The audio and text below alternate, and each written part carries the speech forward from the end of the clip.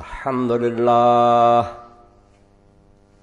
وسلام على عباده الذين اصطفى أما بعد فأعوذ بالله من الشيطان الرجيم بسم الله الرحمن الرحيم وإذ أخذ الله ميثاق الذين أوتوا الكتاب لتبيننه للناس ولا تكتمونه فنبذوه وراء ظهورهم واشتروا به ثمنا قليلا فبئس ما يشترون. عرب خود را بنور مصطفیٰ سوخت، چراغ مردہ مشرق برفروخت ولیکن آ خلافت راہ گم کرد کہ اول مومنہ را شاہی آموخت. محترم سامعین کرام، جناب سید عالم فخر بنی آدم، حضرت محمد رسول اللہ صلی اللہ علیہ وسلم کا اصل کارنامہ یہ نہیں ہے کہ آپ نے کچھ اللہ کی پوجا پاٹ کرنے والے درویش پیدا کیے۔ یہ کام اس سے پہلے بھی راہب لوگ کرتے تھے۔ دنیا چھوڑ کر غار غاروں میں چلے جاتے، جنگلوں میں چلے جاتے۔ اللہ کے رسول اس لیے نہیں آئے۔ سب سے بڑا کام جو آپ نے کیا وہ یہ کیا کہ دنیا میں حکومت الہیہ قائم کی۔ ایک ایسی حکومت سے لوگوں کو روشناس کرایا جس سے پہلے لوگ متعارف نہیں تھے۔ لوگ یہ جانتے تھے کہ جو حکومت لوگ کرتے ہیں وہ بادشاہ ہوتے ہیں، ان کے محلات ہوتے ہیں، ریشمی فرش بچھے ہوتے ہیں پہرے دار ہوتے ہیں، سونا چاندی جو ہے اس کے برتن میں کھانا کھاتے ہیں۔ لاکھوں کروڑوں کا وہ خرچ ہر مہینہ میں کرتے ہیں۔ ملک کا خزانہ ان کی ذاتی جاگیر ہوتی ہے۔ رسول کریم علیہ السلام نے آ کر دنیا میں ایک ایسا یہ کام کیا جس کی کوئی نظیر نہیں ملتی، کہ بادشاہت کو ختم کیا، خلافت کو قائم کیا۔ اس کے بارے میں علامہ اقبال رحمۃ اللہ علیہ کے اشعار میں نے پڑھے کہ رسول اللہ کے نور سے عرب بھی چمک اٹھا، مشرق کے لوگوں نے بھی اس کی پیروی کی تو وہاں بھی روشنی پھیل گئی۔ دنیا نے یہ عجیب نظارہ دیکھا۔ کہ کیسر روم کا سفیر آتا اور وہ مدینہ منورہ میں پوچھتا کہ آپ کا بادشاہ کہاں ہے؟ تو لوگوں نے کہا، ہمارے ہاں تو بادشاہ کوئی نہیں ہوتا۔ ہمارے یہاں امیر ہے۔ انہوں نے کہا، اس کا محل کوئی محل نہیں، وہ کہاں ملے گا؟ انہوں نے کہا، بیت المال کے اونٹ چلانے گیا ہوا۔ وہاں گئے تو حضرت سیدنا عمر رضی اللہ تعالیٰ عنہ اپنا ہاتھ سرانے رکھے۔ دوپہر کے تپتی ریت پر سوئے پڑے تھے، پسینہ بہ رہا تھا۔ وہ سفیر کانپنے لگا، اس نے کہا، یہ شخص ہے۔ کوئی پہرے دار نہیں، کوئی دربار نہیں۔ ہمارے بادشاہ اس کا نام سن کر کانپتے حال یہ ہے کہ اونٹ چلا رہا دوپہر کے۔ اور جب لوگوں کا امیر المومن آپ کسی غلام کو بھیج دیتے تو فرمایا، بوجھ میں نے حکومت کا اٹھایا ہے، صاحب میں دوں گا، غلام کیوں یہ دندہ کرے؟ یہ نقشہ اس کائنات میں لوگوں نے کبھی نہیں دیکھا تھا۔ خود سرور کائنات صلی اللہ علیہ وسلم جن سے بڑھ کر اللہ نے کوئی وجود نہیں پیدا کیا۔ اور نہ ان کا نمونہ کوئی اور آئے گا۔ رسول کریم علیہ السلام کا یہ حال کہ کوئی اپنے لیے امتیاز نہیں کیا کوئی الگ مسرت نہیں تھی، گڈی نہیں تھی جہاں بیٹھے ہوں۔ عام نمازیوں میں مل کر بیٹھے ہوئے ہیں، کوئی شخص آتا ہے تو حیران ہوتا، پوچھتا ہے کہ تم میں اللہ کا رسول کون ہے؟ بتلانا پڑتا کہ یہ ہے محمد ابن عبداللہ صلی اللہ علیہ وسلم۔ لوگ اٹھ کر کھڑے ہوتے ہیں ادب کے لیے، حالانکہ لیے کھڑا ہونا چاہیے تو حضور کے لیے کھڑا ہونا چاہیے۔ نا تو حضرت نے فرماتے ہیں، اس کو بھی آپ نے پسند نہیں کیا کہ میرے آنے پر کوئی کھڑا نہ ایک شخص آیا، کانپنے لگا، روب سے بدوی تھا۔ حضور نے فرمایا، کیوں ڈر رہے ہو؟ میں سوارت کا بچہ ہوں جس کو تازہ گوشت نہیں ملتا تھا۔ وہ خوش کیا ہوا، گوشت سال بھر کاپ کا کر کھاتی تھی۔ ہاں؟ اللہ اکبر، یہ نظارہ دنیا نے کبھی دیکھا تھا؟ خلیفہ المسلمین جمعہ کی نماز کے لیے آئے اور لیٹ ہو جائیں تو لوگ کہیں، امیر آپ نے ہمیں پریشان کیا؟ فرمایا بھائی اس کے سوا اگر کوئی کرتا ہوتا تو میں یہ دھونے کے لیے دے آتا اور وہ پہن کر آ جاتا۔ یہی میرا ایک لباس ہے، خشک ہونے میں کچھ دیر لگ اس پر بھی آٹھ پیوند لگے ہوئے تھے۔ یہ حضور صلی اللہ علیہ وسلم کا وہ کارنامہ جو کوئی نہیں کر کے دکھا سکتا۔ کچھ نمازیں پڑھنے والے، پیدا کرنے والے کو ذکر گئی یہ آسان بات ہے۔ جوگیوں نے بڑی بڑی ریاضت کی ہے، راہبوں نے کی ہے۔ مسلمانوں کی بات ان کے سامنے کچھ بھی نہیں، مگر سب بیکار حضور نے فرمایا حکومت سنبھالو۔ خزانے تمہارے پاؤں کے نیچے ہوں، فوجیں کھڑی ہوں تمہارے اشارے پر حرکت کرنے کے لیے۔ مگر تم اپنے آپ کو سمجھو کہ میں بادشاہ نہیں ہوں کہ جو جی چاہوں میں تو نائب اللہ کا بھی نائب ہوں، حکم وہاں سے آئے گا، میں صرف نافذ کروں گا۔ اور امت اصل میں حکومت کی مالک ہے، میں تو اس کی طرف سے ایک نمائندہ خادم ہوں، اس کا میں ان کے مشورے کے بغیر کچھ نہیں کر سکتا۔ یہ وہ کام تھا، وہ اعلیٰ نظام تھا جو رسول کریم علیہ السلام نے دنیا کو دیا۔ مگر ہماری بدبختی اور بدقسمتی لیکن آ خلافت راہ گم کر کہ وہ خلافت اپنا راستہ بھول گئی کہ ابر مومن آرا شاہی آموخت دوسری پشت بھی نہیں، پہلی پشت کے ان لوگوں نے بادشاہ سکھا دی۔ پھر وہی محل بن گئے، ریشمی فرش بچ گئے، سونے چاندی کے برتنوں میں کھانے شروع ہو گئے، دربان کھڑے ہو گئے۔ اپنے چیلے چانٹوں کو بیت المال میں سے لاکھوں اور کروڑوں دینے شروع کر دیے۔ بادیں دالیاں شروع ہو گئی یہ وہ قیامت تھی جس سے بڑی قیامت اسلام پر کوئی نہیں آئی۔ یہ ملا مولوی کہتے ہیں کہ امام حسین کا تذکرہ کرو، انہیں دین کی عرف بے کا بھی پتہ نہیں ہے۔ امام حسین کو اگر میں دین میں سے نکال دوں، اسلام کسی شاہ کا نام نہیں۔ مجھے اگر اس دین پر فخر ہے تو اس لیے کہ جب یہ قیامت آ رہی تھی اور امت کی زبانیں گنگ کر دی گئی تھی ان کے ہاتھ باندھ دیے گئے تھے، تو اس وقت رسول اللہ کا جو وارث تھا، حضور کے کندھوں پر سواری کرنے والا وہ میدان میں آیا کہ یہ جو ہو رہا یہ غلط۔ ٹھیک ہے، ہوتا پھر بھی وہی رہا۔ راستہ نہیں روکا جا سکتا۔ حکومت اتنی زبردست تھی کہ اس نے اپنے پنجے اتنے گاڑے تھے کہ حسین رضی اللہ کے بہتر ساتھی راستہ روک سکتے۔ جبکہ وہ جانتے تھے کہ میرے والد جو پوری دنیا کے خلیفہ تھے، ان کو ان لوگوں نے اپنی چالاکیوں سے بے بس کر دیا۔ تھا میرے بھائی کو حکومت چھوڑنی پڑی۔ اب کون لوگ میری مدد کے لیے آئیں گے؟ کوئی نہیں آنے والا تھا۔ نہ اس امید پر وہ نکلے تھے۔ صرف جیسے کہتے ہیں اختلافی نوٹ۔ اور آپ جانتے کہ ایک جج بھی صحیح فیصلہ کر جائے ظلم کا فیصلہ اور وہ لکھ دے کہ یہ غلط ہو رہا۔ تاریخ میں وہ زندہ ہو جاتا، امر ہو جاتا، لوگ بعد میں کہتے ہیں، یار باقی سب بک گئے تھے، وہ بکا نہیں گیا اسی لیے یہ بات جو ہے نا، کہی گئی ہے، گزرے ہے اس جہان میں، ایسے بھی کچھ شہید۔ مقتول تابد رہا، قاتل نہیں رہا۔ وہ جو مارے گئے، وہ زندہ ہو گئے، ان کا نام زندہ اور زندہ رہے گا۔ ٹھیک ہے، جب اللہ کے مخالف موجود ہیں، رسول اللہ کے دشمن موجود ہیں، حسین کو برا کہنے والے رہیں تو کیا گرا کیا؟ مگر حسین زندہ رہے گا۔ یہ اپنی موت مرتے رہیں گے، وہ زندہ ہے۔ اس کے باپ نے دین کا ایک چیپٹر مکمل کیا۔ اگر علی نہ ہوتا، دین ناک سے رہ جاتا۔ یہ دین پڑھے تو پتہ چلے نا۔ نکالیں کتاب البغات کہ مسلمان اگر باغی ہو جائے حکومت صحیح ہو، کیا سلوک ان سے کیا جائے؟ نہ قرآن کوئی رہنمائی کرتا، نہ رسول اللہ نے کوئی رہنمائی کی۔ یہ مسئلہ ہی نہیں پیش آیا۔ کفار کے ساتھ مشرقین کے ساتھ جنگیں، ان کے قیدیوں سے برتاؤ، ان کے مال کو مالک نہیں، وہ سب ہے مگر مسلمان ہی اگر بغاوت کر دیں، حکومت صحیح ہو، کیا کیا جائے؟ اس میں آپ سارے لوگوں کا پڑھیں، فقہ کی کتابیں شریعت پڑھیں۔ شریعت رفا جان اور امین کا نام نہیں ہے، حکومت کرنے کا نام ہے کہ دنیا میں وہ نظام قائم کرو جو اللہ کے رسول لے کر آئے تھے۔ اور اب بھی دنیا میں کیوں قیامت برپا؟ ہزار علاج سوچ رہے ہیں۔ یہ تحریکیں جو کہتے ہیں خلافت برپا کریں۔ میں ان کی عقلوں کا ماتم کرتا ہوں اٹھتے خلافت کے لیے اور تائید جیتی کرتے ہیں۔ جنہوں نے خلافت برباد کیا ان کا دفاع کرتے ہیں عقل کے بالکل اندھے اور ان کا دماغ جو ہے عقل سے بالکل خالی ہے۔ کہ جنہوں نے اسلامی خلافت کو برباد کیا، تم ان کی مدافعت کر رہے ہو۔ نہ یہ جنتی دوستی کا سوال ہے، نہ دانت کا سوال ہے۔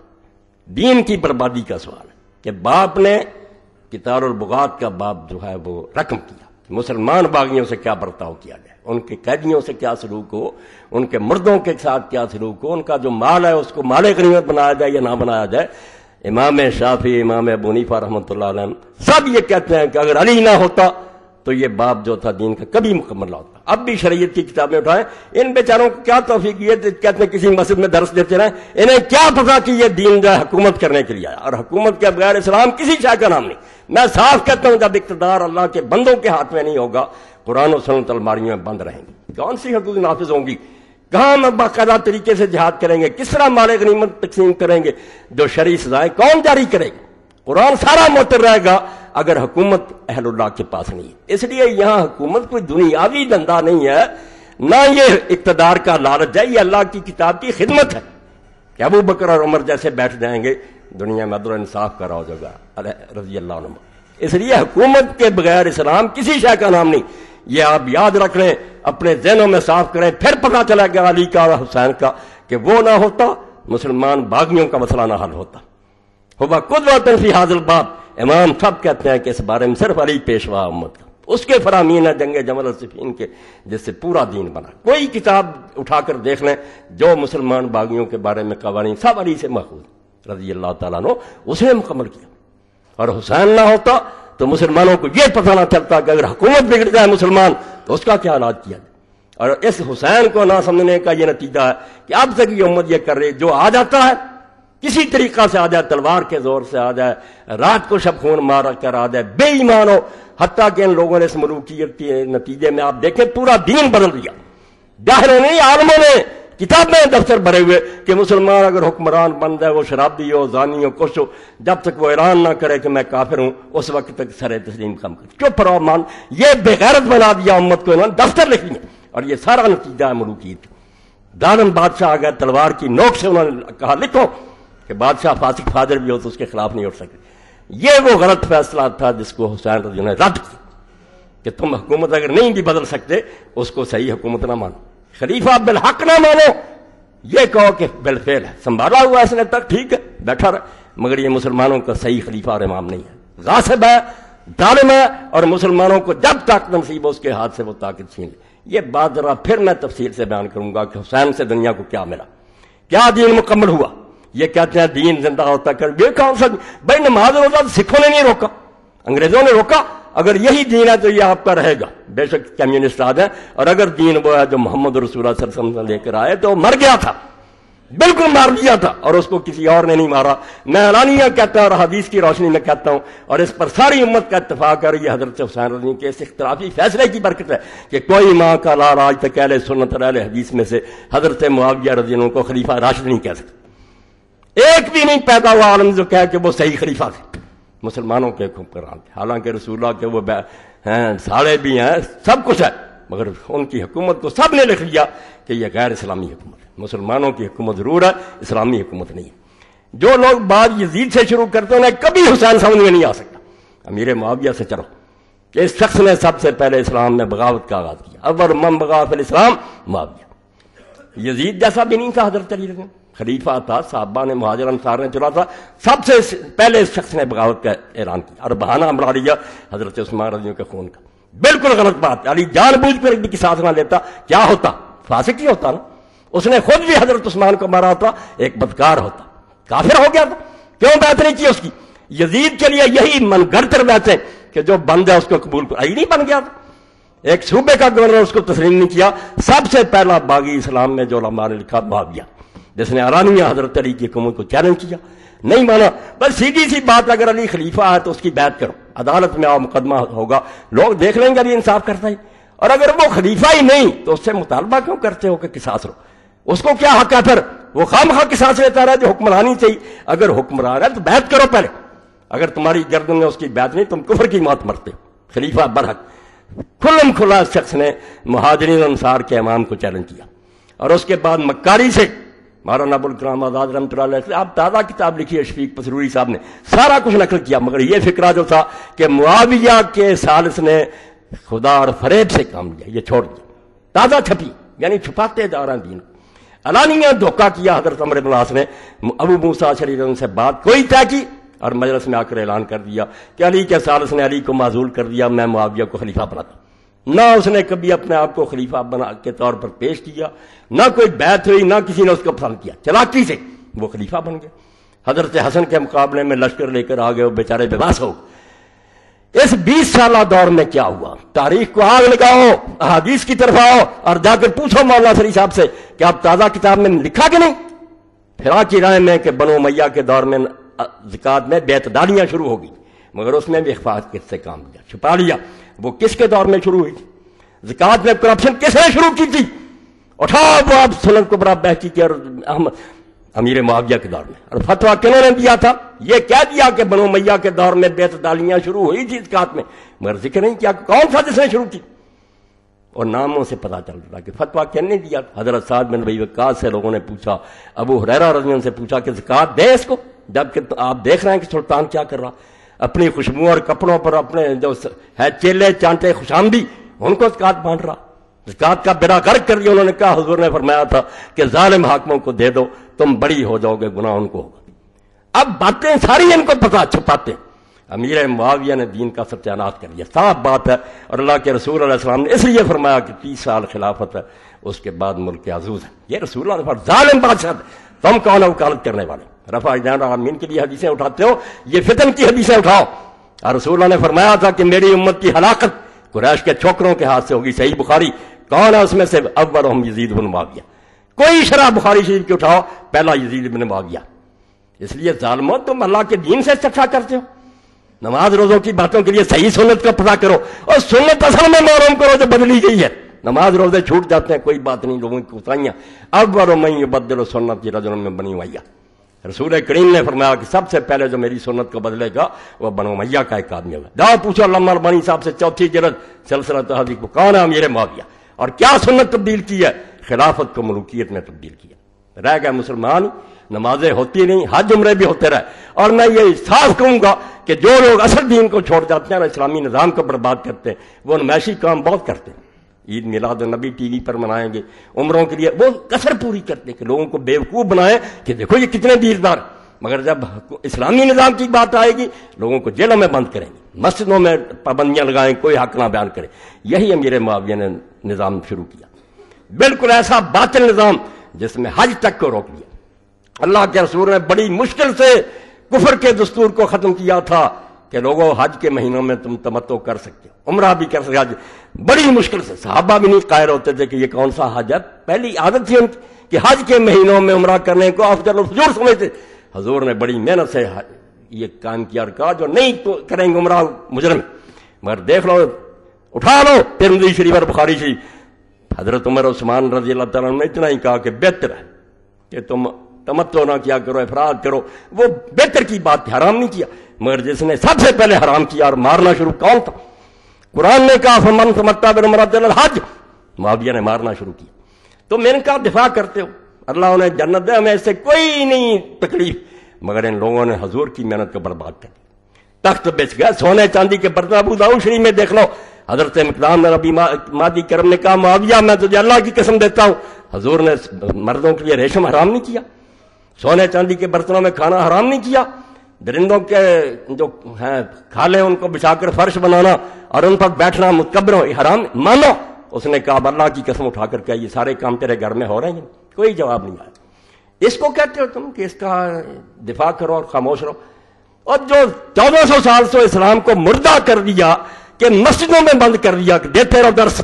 مگر حکومت اس بارے میں جو ہے، سیکولر ہم دو جی چاہیں گے کریں گے، ہماری مہربانی ہوگی کوئی دین کا کام مانے، ورنہ کوئی نہ کہے جیلوں میں بند کر دیں۔ گے اور اس طرح وہ ظلم عظیم کیا کہ جو زبانیں رسول اللہ کے سامنے کھول جاتی تھی عام آدمی تو حضور سے پوچھ لیتے تھے کہ وہی ہے یا آپ اپنی رائے دے رہے ہیں؟ اور حضور نے اتنی تربیت کی صحابہ کی کہ جب بریرا کو بھی بتا دیا رضی اللہ تعالیٰ نے کہ میں یہ حکم نہیں دے رہا، نہ یہ دینی کو مسئلہ، میری رائے۔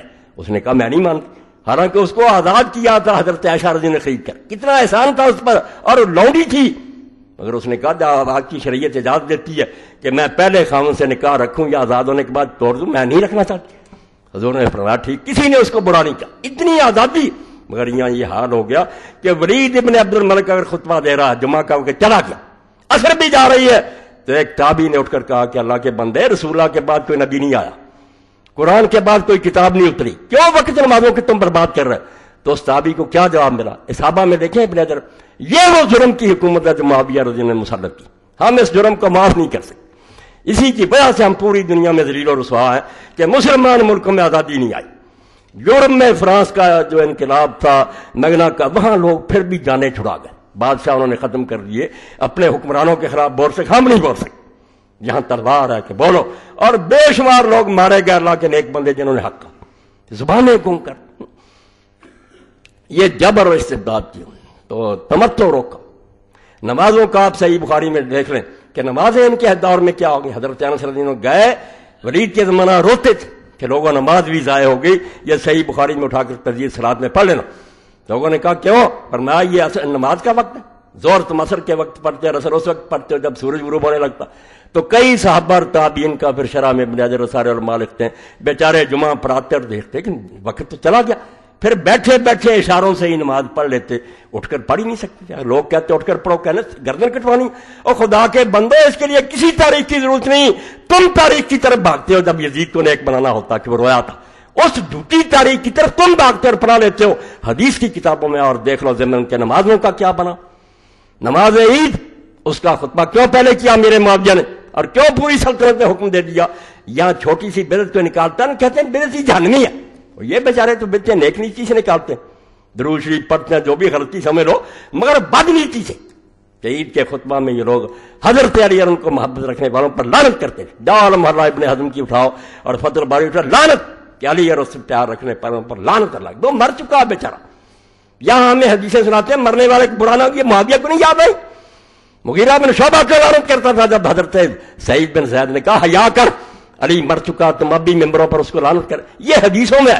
میں نے حدیثوں سے نکال کر دکھانا کہ یا یہ دفتر دریا برد کرو یا خدا کا خوف کرو۔ حسین کی محنت کو ضائع نہ کرو۔ اس نے اسلام کو بچا لیا کہ یہ کام سارا غلط ہے، ہوتا رہا اور اسی کی برکت ہے کہ ادنا سے ادنا مسلمان بھی ان بدماشوں کے زمانے میں چپ رہے گا۔ کر نہیں سکتا کچھ۔ مگر اس سے پوچھو کہ ابو بکر عمر کی خلاف حدیثوں کی ایک ہی جیسی، وہ کہا؟ گا نہیں نہیں نہیں، یہ کوئی حکومت اسلامی نہیں ہے، یہ سارا ظلم زیادہ یہ حسین رضی کے اس فیل کی برکت ہے، ورنہ مور لگتی جا رہی تھی کہ جو ہو رہا ٹھیک ہو رہا امام نے بھی بیس سال صبر کیا۔ کونوں پر بیٹھے رہے۔ جو یزید سے شروع کرتے نا کہ اس کو امیر معاویہ نے نامزد کر دیا اس لیے ناراض ہوئے، بالکل جھوٹے۔ بات پر پردہ ڈالنے کے لیے ملاؤں نے شروع کیا، کہتے ہیں، یزید میں کیا تھا میں کہتا ہوں، ہزار درجے کا فرشتہ ہوتا ہوں، تب بھی جانتی تھا۔ کیوں حکومت پر رہا مسلمانوں کے مشورے کے بغیر۔ اور اس کے باپ نے جس طرح بیت لی، اس کے حوالے دوں گا کہ کس طرح تلواریں لٹکتی تھی لوگوں کی سر۔ بخاری شریف سے نکال کر دوں۔ خدا کے بندو، حسین رضیوں کی قدری کرتے۔ اگر نہ ہوتا، مسلمانوں کا چہرہ سیاہ ہو جاتا کہ جب دین برباد ہو رہا، سارے چپ رہے، یار رسولہ کا بچہ بھی چپ رہا، وہ نہیں چپ رہا۔ اس نے صاف اعلان کیا کہ سب باطل، یہ حکومت غیر اسلامی ہے، جو ہو رہا دین کے خلاف ہو رہا۔ نمازیں دکھاؤں گا، تو عید کا خطبہ پہلے کر۔ کہ لوگ اٹھ کر چلے جاتے ہیں، علی پر لانت نہیں سنتے، سنوانی ہے نماز تو پڑھ کر جائیں گے۔ جمعے کے خطبے میں ابن حضم رحمۃ اللہ علیہ فرماتے ہیں کہ کئی تابی آپس میں باتیں کرتے تھے۔ وہ کہتا ہے، ایک طرف تو حکم ہے کہ کوئی غلط کام کر رہا اس کو بھی نہ ٹوکو۔ چپ رہو۔ جو میں یہ کیوں بولتی اس نے فرمایا، یہ خطبہ کہ یہ لوگ علی اور حضرت ابن زبیر کو لانت کرتے تھے اور رنج میں آ کر یہ کہتے ہیں لانت نہ کرو، جاؤ ابن حضم سے پوچھو۔ ان سے بڑے محدث ہو تم اور خاندان بنو میاں سے۔ اس نے خود کہا کہ لانا، لائنا۔ جو علی اور ابن زبیر کو لانت کرتے تھے، اللہ ان پر لانت کر کرنی چاہیے، ہمیں بھی کرنی چاہیے کہ علی اور ابن زبیر جیسے صحابہ پر لانت کرتے۔ یہ بد رسم انہوں نے شروع کی اور ممبروں پر ہوتی رہی۔ جس غریب نے انکار کیا سار اڑا دیا حضر ابن عدی جیسے صحابی، راہب و صحابہ رسول اللہ۔ حضور کے صحابہ میں درویش کیوں مارا گیا؟ کیا امیر معاویہ نے اس کے سامنے پیش کیا؟ اس نے کہا کم میں تیری بیت سے منارف ہوا میں اور میرے ساتھی اسید پر کیا میں جو حسن نے کیا۔ اس نے کہا، نہیں، بچنا ہے تو علی پر لانت کر۔ انہوں نے کہا، یہ کفن بچھے ہوئے اور قبریں خود ہی دکھا کر تم چاہتے ہو کہ جیسے ساری عمر محبت کی ہے، اس پر لانت کرے۔ داؤ قتل کر دو اور اپنے ساتھیوں سے کہہ اللہ، میرا یہ کپڑے نہ اتارنا، خون آلود میں اسی طرح پولیس رات پر سے ملوں۔ داؤ اٹھاؤ، صحابہ کرام کے حالات اور پڑھ لو کہ حضرت نبی غریب کس طرح مارا گیا۔ یعنی بعد رسمیں شروع کر علی پر لانت جو اگر نہ ہوتا اور اس کا باپ نہ ہوتا، میں ساتھ کہتا ہوں، ابو طالب اسلام لایا یا نہیں لایا؟ کوئی مسلمان کا بچہ یہ نہیں کہہ سکتا کہ ابو طالب کا سہارا اللہ تعالیٰ رسول اللہ نصیب نہ ہوتا، پتہ نہیں دین کا کیا حال ہوتا۔ خدا عبداللہ بن مسعود فرماتے ہیں، سات آدمیوں نے اعلان کیا تھا ہم نے اسلام کا، ابن ماجہ میں، رسول اللہ کو بچا لیا اللہ نے آپ کے چچا کے ذریعے۔ کوئی ابو طالب کی زندگی میں انگلی نہیں کر سکا۔ دو تکلیفیں دی آپ کو اس کے بعد دی اور علی اگر نہ ہوتا تو آپ دیکھتی ہیں، آپ کے بستر پر لیتا جنگ بدر میں جتنے مارے ہیں، فرشتے نکالو، کس نے مارے ہیں؟ اور یہی بہتا رہا بعد میں علی۔ اور اس کی اولاد، دکھ کیا تھا؟ ان کے بچے مسلمان ہو گئے، جن کے والد اور دادے قتل کیے تھے۔ وہ اسلام لے آئے، مگر دلوں میں وہی ارب والا رنج تھا کہ علی نے اور اس نے ہمارے بڑے مارے ہیں۔ بہت سے کچھ بدلا لیا، کچھ اس کی اولاد سے لیا، اس کے لیے وقت نہیں، بس اشارہ میں نے کر دیا۔ تو دین جس کو تم دین سمجھو، نماز، روزہ، حج کا وہ بھی نہیں لینے دیا۔ باقی تو جو تھا عدل و انصاف اور حق کہنے کی بات وہ تو بالکل ختم کر تو اس سلسلہ میں ایک حوالہ تو میں آج اس ملک کی بہت بڑی شخصیت ہے۔ جن کو علم نہیں، وہ جو جی چاہ کہتے ہیں نا، حضرت پیر میرے عشا رحمۃ اللہ علیہ عالم بھی تھے اور پیر بھی تھے۔ اور لوگوں کو پتا ہے کہ جب غلام احمد قادیانی کے ساتھ مقابلہ درپیش آیا اور یہ طے ہوا کہ شاہی مسجد لاہور میں مقابلہ ہوگا اس وقت اہل حدیث نے، شیعہ نے، بریلویوں نے، جب سب نے پیر صاحب کو مختار نامہ لکھ کر دیا کہ ہماری طرف سے مسلمانوں کی یہ نمائندے یہ ہار گئے تو ہم سب ہار گئے، جیت گئے تو سب جیت گئے۔ اور کتاب میں پڑھیں تو پتہ لگتا کہ پیروں کی طرح کے نہیں تھے، عالم تھے، ہر علم کے عالم تھے۔ تو ان سے بھی ایک شخص نے یہ سوال کیا کہ رسول کریم علیہ السلاط وسلام کے بعد جو کچھ ہوا اس کے بارے میں۔ آپ ذرا سمجھ لیں کتنی دانائی کی بات ہے۔ جب مر جاتا ہے آدمی اسی طرح کا نہیں رہتا۔ سر سے پاؤں تک وہی نظر آ رہا ہوتا ایک چیز اندر سے نکل جاتی ہے جس کو روح کہتے پیر صاحب نے کہا، حکومت اسلامیہ جو ہے، اس کی بھی ایک صورت ہے۔ ایک تو ہے بت، ایک اس میں مانا روح۔ پہلے چار خلیفے نے اس وقت صورت بھی ہے کہ ملک بھی ہے، خزانے بھی ہیں، لشکر بھی ہیں، فتوحات بھی ہو رہی اور مانا بھی ہے کہ وہ خلیفے جو اسلامی حکومت کی جانا اپنے کو بادشاہ نہیں سمجھتے۔ اللہ کا نائب سمجھتے ہیں، امت کے غلام سمجھتے ہیں، خادم سمجھتے ہیں۔ خزانے میں سے ایک پائی ایجاد کے بغیر نہیں لے سکتے۔ بعد میں کیا ہوا؟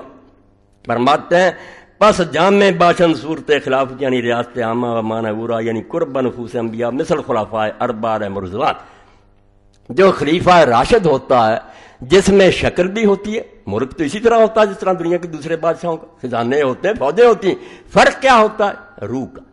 اس کے اندر روح کیا ہوتی ہے؟ وہ انبیاء کے قریب ہوتا جو نبی کام کرتے ہیں، وہ کرتا وہ اپنی طرف سے کچھ نہیں کرتا۔ جیسے پہلے چار خلیفے۔ فرق قدر ہست کے در عہد خلافہ سلاسہ نفاذ سرو و اجتماع مسلمین علی سبیل الکمال سورد یافتہ۔ فرق اتنا ہوا کہ پہلے تین خلیفے جو تھے، ان کے زمانوں میں خلیفہ کا کنٹرول اور مسلمانوں کا اتفاق پوری طرح رہا۔ وہ درحد مرتضی مانا کامل یعنی قرب نفوس انبیاء بود۔ جب حضرت علی مرتضی کا دور آیا، کتے بھونکتے ہیں، علی کے زمانہ میں کچھ نہیں ہوا۔ وہ مولانا ابو الکرام آزاد رحمۃ اللہ، جس کو یہ لوگ امام الہند کہتے، وہ ہوتا مجھے دکھ ہے کری کی حقیقت لوگوں نے نہیں پہچانی۔ اللہ نے اگر موقع دیا تو میں ان کی سیرت پر پوری کتاب لکھوں گا کہ ظالموں اس کو نہیں سمجھے جو رسول اللہ کے ساتھ ایسے تھا جیسے موسیٰ علیہ السلام کے ساتھ ہارون، اس کو بدنام کر رہے مگر وقت نہیں ملا، دوسرے کاموں میں لگ تو حضرت علی کے معنی فرماتے ہیں، جو مانا تھا نا، روح۔ کہ انبیاء کے طریقے کے قریب وہ ٹھیک تھا، وہ صورت ناقص، مگر کنٹرول کمزور ہو گیا۔ یعنی ریاست عامہ و اجتماع مسلمین مصر زمانہ خلاف آئے سلاسہ نابود۔ پہلے تین خلاف خلیفوں کی طرح اتفاق نہیں رہا۔ اور وہ اتفاق نہیں رہنے دیا۔ معاویہ نے بغاوت کر دی، ادھر حضرت اللہ زبیر حضرت عائشہ نکل کھڑے ہوئے، ادھر خارجی۔ لوگوں کا اپنا قصور تھا۔ علی کا کوئی قصور نہیں تھا۔ انتظام نہیں چلنے دیا۔ بعض صورت باقی و مانا بر وجہ اتام مفقود۔ رحمت فرمایا اللہ تعالیٰ گوڑوی رحمت اللہ پر فرماتے ہیں، اس کے بعد شکل رہ گئی۔ شکل وہی تھی، ملک فتح ہو رہے ہیں لشکر جا رہے ہیں، ادانے ہو رہی ہیں، خزانے۔ مانا بر وجہ اتام مفقود مگر وہ کام جو تھا اندر روح والا، کہ نبی کے طریقے کی پیروی، گم۔ چنانچہ در زمانہ امیر معاویہ و در حدیث خدنا را دخن ہم ایمان دار حدیث کا ورد یا بخاری شریف میں ہے۔ حضور سے لوگوں نے پوچھا، مسلمانوں میں قتل و غارت، بعد میں کیا ہوگا؟ فرمایا خدنا ترا دخن صلح ہو جائے گی، حسن چھوڑ دے گا، مگر ہوگی دخن وہی منافق ترکینے رہیں گے، صلح باطن میں نہیں ہوگی۔ ہوا بھی کوئی؟ حسن کو زہر دے دیا اور دین کی مٹی پلیت تھی بعض تدریجن تدریجن خلاف جابرہ یا دعوت برا باب جہنم کما دا فی الحدیث، ہر شے کے ساتھ حوالہ۔ فرماتے ہیں، پھر تو خلافت بالکل بدلتی بدلتی، جو آیا، آگے اینٹیں رکھتا گیا۔ جابر حکومت بالکل جس کو حضور نے کہا تھا، جہنم کے دروازوں پر دعوت دینے والے حکمران ہوں گے۔ دوزخ کی طرف بلا رہیں گے۔ ایسا ہی رہا کما دا پھر پیدا گشت۔ بعض انقلاب زمانہ، حسب مشیت عزی رنگ تشب و بخلاف راشدہ بدہور عمل پھر کئی سال گزر گئے، معاویہ کو خلیفہ کسی نے نہیں مانا، یزید کو نہیں مانا، عبد الرحمن حکمران ہونے کی بس بچا خلیفہ کہتے رہو۔ خلیفہ راشد نہیں ہے، کوئی نہیں کہتا۔ کسی چھوٹی سے چھوٹی کتاب سے لے کر بڑی تک دیکھ لیں۔ جہاں جہاں عقائد بیان کیا اہل حدیث نے، اہل سن نہیں خلیفے چار ہیں، بعد میں ملوکیت۔ خود امام ابن کثیر لکھتے ہیں اپنی البدایہ آٹھویں جلد کہ سنت یہی ہے کہ امیر معاویہ کو خلیفہ نہ کہا، بادشاہ کا کرو، ملک ہے وہ۔ اور وہ بھی کہتے تھے نام اکبر و ملوک الاسلام، بھائی میں خلیفہ نہیں ہوں، پہلا بادشاہ۔ مگر وہ کہتے ہیں، پھر اللہ کی مرضی سے اللہ کو نے یہ پسند کیا کہ مسلمانوں کو تھوڑی سی جلد پھر دکھا دی جائے خلفائے راشدین کی، چنانچہ خلاف عمر بن عبد العزیز حضرت عمر بن عبد العزیز کا ڈھائی سالہ دور آیا، وہ بھی مروان کی اوراد میں سے۔ ہم کسی اوراد کے نہیں دشمن، نہ خاندان کے دشمن ہیں۔ بنو میاں میں سے اگر وہ اچھا پیدا ہو، بسم اللہ، خلیفہ راشد علیہ الرحمہ جو ظالم ہے، وہ ظالم۔ عباسی حضور کے چچا کی اولاد ظالم۔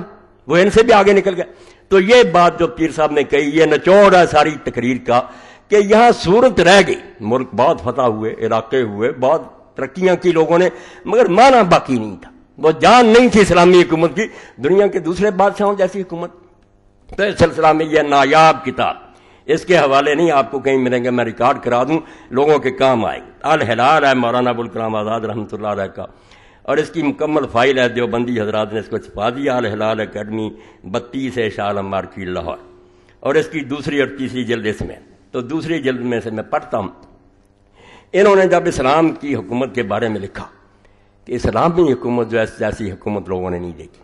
نہ بادشاہ اور رئیت کا کوئی فرق، بادشاہ تو کہتے ہی نہیں نہ لباس میں، نہ بلکہ یقین جانے، ریا کے آدمی کا مکان اچھا اس کی خوراک اچھی، اس کا لباس خلیفہ کا حال اس سے بہت خراب۔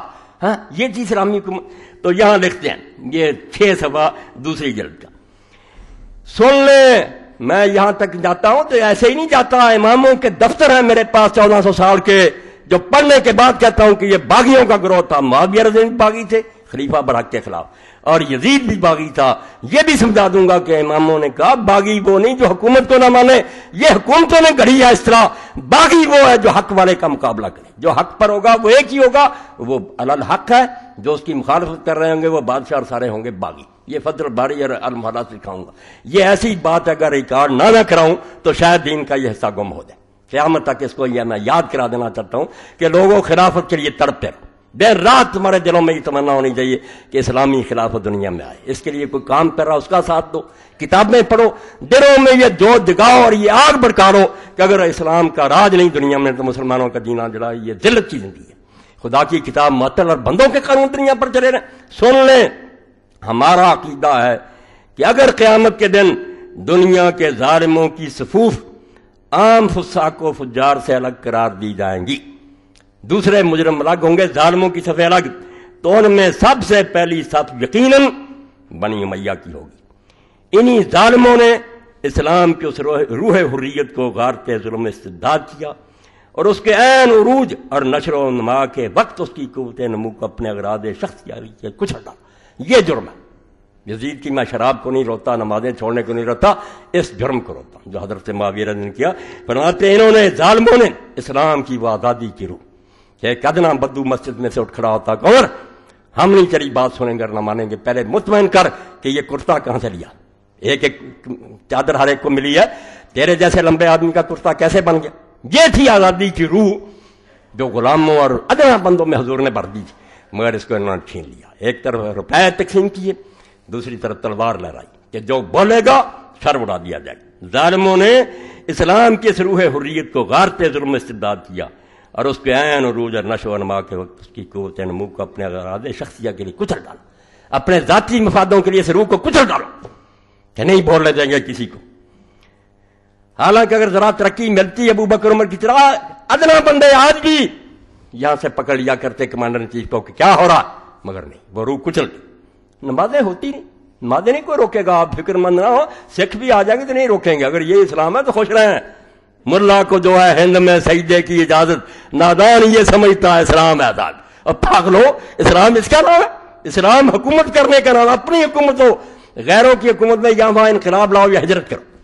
ورنہ رہنا وہ حرام ہے۔ اسلام یہ کہتا ان کا اقتدار و تسلط فی الحقیقت امر بالمعروف کے سد باپ کا پہلا دن تھا۔ کہتے ہیں جب معاویہ تخت پر آئے اور ان کی اولاد آئی۔ وہ اسلام میں جو حکم تھا کہ اچھی بات کا اور بری بات روکو، اس کے روک دینے کا پہلا دن تھا۔ اس دن چھری پھیر دی گئی کہ کوئی ٹوک نہیں سکتا۔ جو جی چاہیں گے کریں گے، بول نہیں سکتا۔ نہ صرف یہ کہ انہوں نے اسلام کی جمہوریت کو غالت غارت کر کے اس کی جگہ شخصی حکومت کی بنیاد ڈالی، جو یقیناً اعتقاد قرآن کی روح سے کفر جلی ہے۔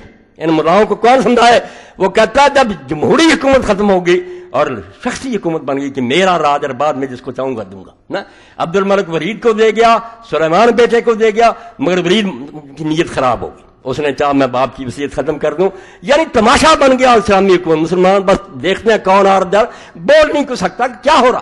ورید کا جی چاہ اپنے بیٹے کو دے دوں ہاں؟ اور یہ جرنیل جو تھے، حجاج بن یوسف اور محمد بن قاسم کتابہ میں یہ بھی ساتھ ہوگا انہوں نے کہا، ٹھیک ہے ورید، ٹھیک کہتا اس کے بیٹے کے سامی ہو جائیں گے۔ جدھر رخ دیکھتے ہیں بادشاہ کو ادھر ہو جاتے ہیں نا، سلیمان کو پتا چل گیا۔ اس نے کہا، میں نہیں یہ وصیت بدلنے دوں گا۔ خیر ورید مر گیا، سلیمان آ گیا۔ اس نے بیٹھتے حجاج کو بھی متل کیا، جائیداد ضبط کی، برے حال میں مارا۔ محمد بن قاسم کو گھوڑے کے پیچھے باندھ کر مارا کہ تم میری وصیت ختم کرنا چاہتے یہ اسلامی حکومت سے یہ تماشے بنے پھر۔ کتبہ بن مسلم مرا موسا بن نصیر گلیوں میں دھکے کھاتا، سارے جرنیل اس نے متل کر کے برے حال میں انہیں مارا۔ تو یہ حکومت تماشا بنا دی مسلمان مسلمان نہیں بول سکتے، ان کا کوئی دخل نہیں، ہم کوئی زبردستی بیٹھ جائیں کس کو دیتے جائیں تو مولانا لکھتے ہیں، یہ قرآن کی اسے کفرے جلی ہے۔ چھوٹا کفر نہیں، ننگا کفر ہے کہ ایک انسان بادشاہ بن جائے۔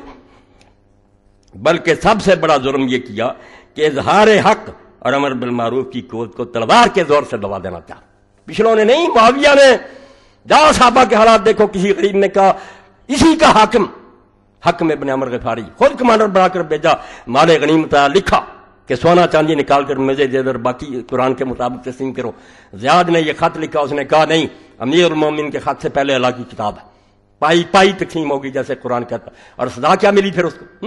اسی وقت معطل کر کے بیڑیاں لگائیں اور وہ جیل میں بڑا صحابی رسول۔ اس حکومت کی بات کرتے وہ ناراض یزید کی باتیں کرتے رہتے ہیں کہ یزید کچھ بھی نہیں۔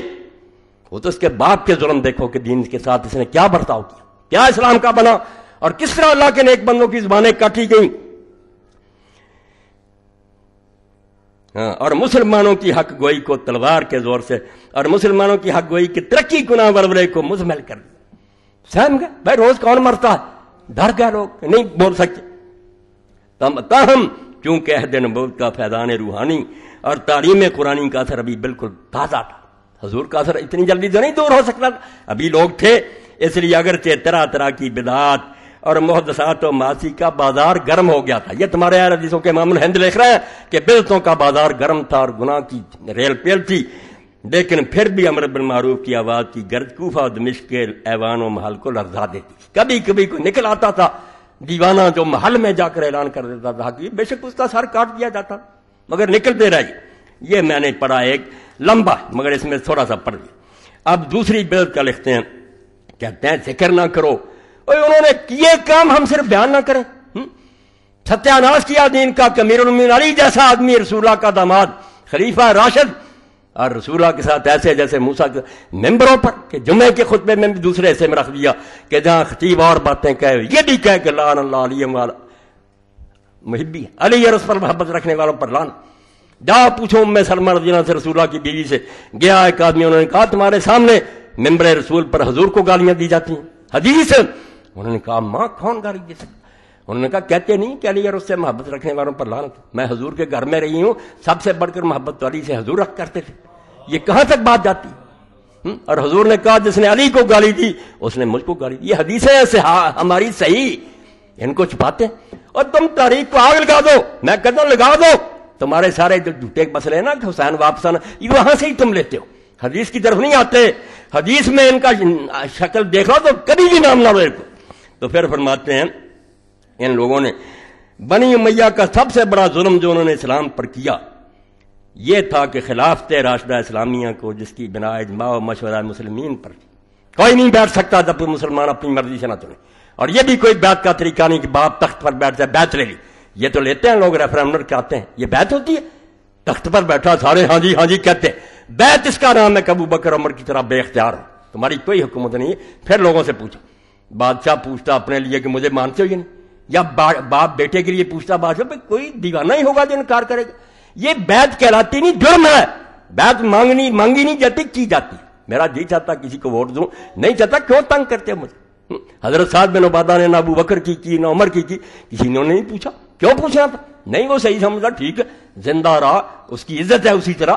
سختی کہ بیت کرو۔ تو فرماتے ہیں کہ بدل دیا، حکومت شخصی و مستبدہ و سلطنت ملکیہ سیاسیہ میں تبدیل کر دیا اور حکومت کی بنیاد شریعت پر نہیں رکھی، بلکہ محض قوت اور سیاست پر۔ قرآن حدیث سے نہیں پوچھا جائے گا ہاں اپنی پاور سے کریں۔ ٹھیک ہے، قرآن کی کچھ باتیں مانتے تھے وہ مہربانی سے ان کی۔ جیسے آپ بھی مان لیتے، جو ان کو فائدہ مند ہو، وہ اس کا نہیں انکار کرتے، یہ حکمران جو نقصان پہنچائے کہ یہ بے حیائی نہیں ہونی چاہیے پردہ کرو، یہ کیوں تم موسیقی؟ نہیں نہیں، چھوڑو، اتحاد کی ضرورت ہے۔ تو بھائی ہمیشہ ایسے کرتے۔ قرآن حاکم نہیں رہتا۔ بیچارہ کھڑا ہے سائل، جو اس کی بات مان لے مان لے، جس کو چاہے رد کر دیں اور تاریخ اسلام کے تمام سگاروں کے بار وہ عالی و عادی ادانی بہت مشکل لکھتے تھے آدھے چھوٹے بڑے آل ادنا اس پر متفق ہیں۔ اور تمام اہل سنت و جماعت کا اس پر اتفاق ہے۔ جو نہیں اتفاق رکھتا، وہ اہل حدیث نہیں ہے، کوئی ناسبی ہے، پلید ہے۔ اہل سنت کا اس پر اتفاق ہے کہ یہ ایک سخت بدت تھی۔ اور مطابق ارشاد صاحب کو مسوق علیہ السلام والسلام، خود حضور کے فرمان کے مطابق ملک کے عزوز کا آغاز تھا، ظالم بادشاہی کا آغاز تھا حضرت معاویہ سے، کیونکہ آپ نے کیا دیا تھا، خلافت میرے بعد تیس سال ہے، پھر ملک کے عزوز ہے۔ نبی کو نہ جٹلا یہ جائیں، جہاں جائیں، ہم کہتے ہیں، اللہ لے جائے جنت میں، ہمیں کوئی مگر اسلام کو نقصان بلے کے نا خلافت راہ گم کر کہ اول مومن شاہی وہی تخت، وہی تاج، وہی دربان پھر لکھتے ہیں، اور سنو ادا جملہ بنی امیہ والے مروان کی ایک سب سے بڑی ہادم شریعت اور پر ماسی تو فسکو دوان بدت شریعہ۔ دین کو تباہ کرنے والی، گناہوں سے بڑی بدت وہ تھی جس کا انتقام آنا اتباع برادران شیعہ نے شروع کیا۔ کہتے یہ بیوقوف بن گئے اور معاویہ کی غرض سنت پر چل پڑے نفرت ہوگی، تبرہ کرتے ہیں۔ مگر شروع کس نے کی؟ یہ بل کس نے شروع کی؟ شیعوں نے نہیں کی، حضرت معاویہ نے شروع کی۔ اور افسوس ہے کہ بد بختانہ شاید آج تک کرتے ہیں۔ یہ شیعوں کے بارے کہتے ہیں کہ وہی سنت پر عمل کرتے ہیں۔ یعنی سب سے پہلے سرزمین اسلام میں جو رحم و محبت اور سلو اخوت ہی کی تخم ریزی کے لیے بنی تھی کہ پیار، اسلام پیار کے لیے سب و شتم اور لانو تبرے کا تخم انہوں نے بویا۔ لانت اور وہی گھروں میں بیٹھ کر نہیں، مقدس مساجد اسلام میں جو صرف عبادت تو تات الہی بازکار و اشغال مقدسہ کے لیے بڑھائی گئی تھی کہ اللہ کی یاد کی جائے اور یہاں درود پڑے جائیں۔ اپنے اگراد نفسانیہ منکرہ سیاسیہ سے اہل بیت نبوت حضرت امیر علیہ السلام پر علانیہ لانت بھیجنی شروع کی۔ توبہ توبہ۔ اب کہتے ہیں صحابی کو برانا جنہوں نے ممبروں پر لانت کی علی کو۔ علی صحابی بھی نہیں ہے؟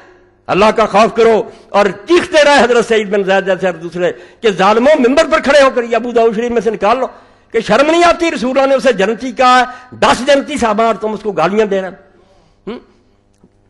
اس کے بعد پھر فرماتے ہیں کہ ان لوگوں نے کیا کیا کیا۔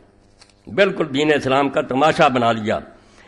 بنی امیہ کی سب سے پہلی بدت اور اسلام و مسلمین پر ان کا اولین ظلم یہ تھا کہ نظام حکومت اسلامیہ کا تختہ یکسر اٹھ دیا اور خلاف راشدہ جمہوریہ سیاح کی جگہ مستبدہ ڈکٹیٹرشپ و ملک کے عزوز کی بنیاد ڈالی۔ یہ انقلاب بہت شدید تھا۔ آج لوگوں کو محسوس نہ نہ چلو جی جو جی چاہے آ گیا۔ تو یہ اس لیے کہ دین سے ہم دور ہو گئے۔ ہمیں پتہ ہی نہیں کہ حکومت تو ڈرائیونگ سیٹ ہے۔ یہ معمولی بات نہیں، جیسے ڈرائیور غلط بیٹھ گیا، وہ رہ جائے گا جدھر کو لے جانا چاہتا آپ کرتے رہیں دعائیں روتے رہیں۔ وہ اگر جانا چاہتا گنگا کو آپ مکہ نہیں جائیں گے، کبھی نہیں جائیں گے۔ حکمران جو ہے، یہ امیر ہے، اس کے ہاتھ میں باغ ڈور، یہ غلط ہو گیا، سارا قبلہ ٹیڑا ہو جائے گا۔ اس لیے فرماتے ہیں، یہ انقلاب بہت شدید تھا، چھوٹی بات نہیں تھی، دین برباد ہو رہا تھا۔ اور بہت مشکل تھا کہ ملک کو اس پر عادی کیا جائے۔ ابھی لوگ تازہ تھے۔ صحابہ کرام بھی ابھی موجود تھے اور خلاف تھے۔ راشدہ کے واقعات بچے بچے کی زبان پر تھے۔ اس لیے کس چیز سے کام دیا گیا؟ لوگ تو تڑپتے تھے، کیا ہو رہا؟ اس لیے سے احساس اسلامی کو مٹانے کے لیے تلوار سے کام لیا گیا۔ تلواریں ننگی ہو گئیں جلات کھڑے ہو گئے کہ بولو جو حکومت کے خلاف بولتا۔ اور جس نے قوت حق و معروف سے زبان کھولی، اس کو زور و شمشیر، زور شم، اس کو زر و شمشیر و خنجر۔ زر بھی۔ ابن استیاب لکھتے ہیں، ابن عبد البار استیاب میں، کہ لوگوں نے پوچھا کہ معاویہ کیوں کامیاب اس نے کہا، میں نے بہتر مار سے لوگوں کو دینا شروع کر دیا۔ لٹا دیا خزانہ، جہاں سے عمر ایک انگلی شاید کی نہیں لیتا تھا، جب تک امت سے اجازت نہیں لیتا۔ کرپشن شروع کر زور و زور و شمشیر و خنجر سے چپ کرایا گیا۔ رفتہ رفتہ احساس منقلب اور خیالات پلٹے کھانے لگے۔ چودہ صدی تک پہنچتے پہنچتے سب کچھ بدل گیا۔ لوگوں کے دل سے وہ بات ہی نکل گئی کہ یہ حکمران کیا کرتے ہیں ٹوکنا اور حقیقت روز بروز مستور و محجوب ہوتی گئی۔ مٹ گئی سر۔ اب ایک آخری حوالہ پڑھ اس لیے کہ یہ نہیں ملیں گی۔ دوسری، تیسری جلد جو ہے، الحلال کی۔ ان کو تو لوگ ڈھونڈتے تھے اس مانے ڈاکخانوں کے آگے کھڑے ہوتے تھے مسلمان کے الحلال کب آتا ہے۔ اس کی جو زبان تھی، ٹھیک ہے، وہ بعد میں کانگریس میں مل گئے، مایوس ہو کر مسلمانوں سے، مگر الحلال اور بلاغ نے مسلمانوں میں جان پھونک یہ پرچے اگر کوئی پڑے گا، پتا چلے گا کہ اسے مردہ مسلمانوں میں جان کس نے پھونکی۔ جہاں جہاں مسلمانوں پر ظلم ہو رہا تھا سارا، تو فرماتے ہیں، یہ اب امام حسین کے بارے میں اشرا محرم الرام اس میں سے باقی چیزیں پھر پڑھوں گا۔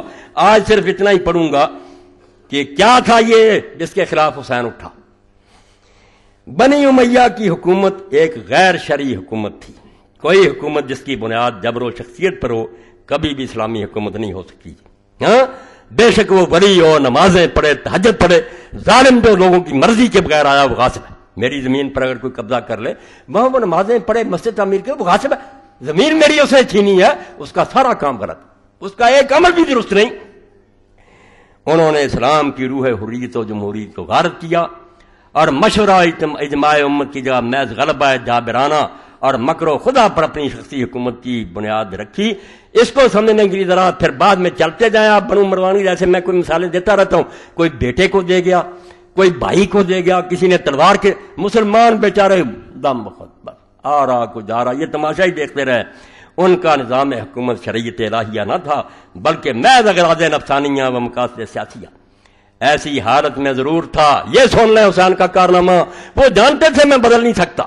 ان بچوں اور عورتوں کے ساتھ بدلوں گا ایسی حالت میں ضرور تھا کہ ظلم و جبر کے مقابلہ کی ایک مثال قائم کی جائے۔ یہ جو مسلمان ڈرتے چپ ہو گئے ہیں، کوئی تو تھے جو بتائے کہ یہ سب غلط ہو رہا ہے۔ اور حق و حریت کی راہ میں جہاد کیا جاتا۔ حضرت سید و شہداء نے اپنی قربانی کی مثال قائم کر کے مزال میں بنی میاں کے خلاف جہاد حق کی بنیاد رکھی۔ اور جس حکومت کی بنیاد ظلم و جبر پر تھی، اس کی طاعت و وفاداری سے انکار کر دیا۔ بس یہ نمونہ تعلیم کرتا، یہ ہے دین بچا، جس میں ہے، میں کہتا ہوں اگر تھوڑا میں حق کہتا ہوں، یہ حسین کا قصہ پڑھنے سے۔ ورنہ گونگے ہیں سارے۔ کہ مسجد والے ناراض نہ نہیں رمز قراض حسین موختن زیاد جو حسین کو پڑے گا، وہ خدا کی قسم کبھی حق نہیں چھپائے گا۔ کیوں چھپائے؟ قتل ہو جائے گا، پھر کیا ہوگا؟ فرماتے ہیں، پس یہ نمونہ تعلیم کرتا ہے کہ ہر ظالمانہ اور جابرانہ حکومت کا رانیہ مقابلہ کرو اور کسی ایسی حکومت سے اطاعت و وفاداری کی بیعت نہ کرو جو خدا کی بخشی ہوئی انسانی حریت و حقوق کی غارت کرو اور جس کے احکام مسبدہ و دائرہ کی بنیاد، صداقت و عدالت کی جگہ جبر و ظلم پر۔ جو جبر سے حکومت کرتا وہ ہمیں جانور سمجھتا کہ میں ان کو ہاں ہنکوں میں ہم انسان ہیں، ہمیں دلیل سے قائل کرو۔ ہماری رائے دو، اپنی رائے پیش کرو اور حضرت عمر کی طرح اعلان کرو۔ جب کتاب الخراج میں قاضی سے لکھتے ہیں، فتوحات عراق کی صحابہ میں بحث ہوگی کہ ان زمینوں کا کیا کیا جائے۔ حضرت بلال رضی نہیں مانتے تھے حکومت پاری رائے غلط ایسا ہوگا۔ بحثیں ہوئی صحابہ کا اجتماع ہوا۔ حضرت عمر نے رضی اللہ نے اعلان کیا کہ مجھے مشورہ دو اور میں بھی تم میں سے ایک آدمی ہوں۔ میری کوئی زیادہ رائے نہیں، نہ میرے دو ووٹ ہیں، نہ ویٹو ہے، جو مشورہ دو گے۔ یہ ہے اسلامی حکومت اور اگر یہ کہ ڈنڈے کی زور سے ہمیں ہاں کے، میں نے کیا دیا، بس کرو۔ تو پھر مطلب ہی کہ ہم انسان تو نہیں ہیں۔